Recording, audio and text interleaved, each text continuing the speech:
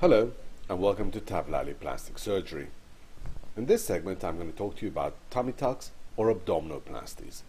These are procedures designed to remove the extra skin and fat from the belly area that occurs as a result of childbirth or weight gain. What we want to do is get you back to the way you used to look.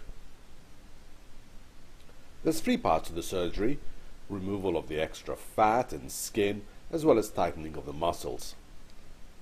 There are two different types of abdominoplasties. A full abdominoplasty removes all of the skin between the belly button and the pubic incision, and the mini abdominoplasty removes a smaller segment of the skin and is accompanied with less muscle tightening. The muscle tightening is an important part of the procedure to give you back the waist that you once had. Let's look at how the surgery is done. Keep your eye on that black dot next to the belly button. The first part of the surgery involves a generalized liposuction of the abdomen. The fat is removed and can even be injected into the buttocks if you so desire. Next, an incision is made over the pubic area and dissection proceeds up to the level of the chest. The muscles are tightened in the midline and that recreates the waist.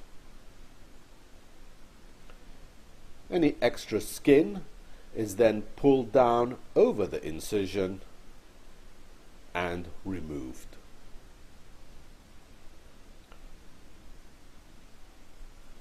Look at where the black dot is going to be by the time we're finished. The procedure takes two and a half hours.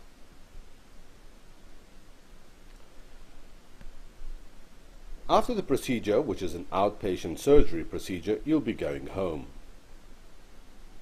Recovery is anywhere between 10 to days to two weeks, but you're up and around during that period. You'll be starting your sporting activities within two weeks and you'll notice a change in your lifestyle within four months, which is when you'll get the final result. Of course, throughout this period, we're going to be there to help you along. Thank you for watching and hope to see you soon. Bye bye.